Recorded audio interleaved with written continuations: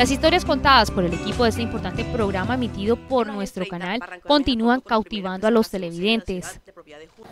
En este lugar donde nos reunimos y confluimos, aproximadamente le dimos cabida a unas 350 familias. Se fijó por un valor de 1.050 pesos el valor del lote. 1.050 pesos, de los cuales teníamos que llevar a la tesorería municipal mensualmente la suma de 50 pesos. Este sábado la historia que contará Luz Darines, la directora, será sobre el barrio Primero de Mayo, sector que este 26 de marzo estará de aniversario.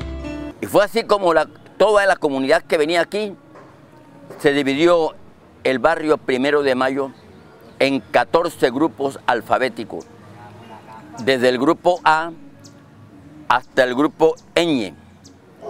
Allí se, se conformaron unos 500 lotes.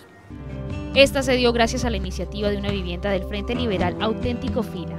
Si usted quiere conocer más sobre la creación de este importante sector de la Comuna 5, no se pierda Prohibido Olvidar, emitido el sábado y domingo a las 11 de la mañana.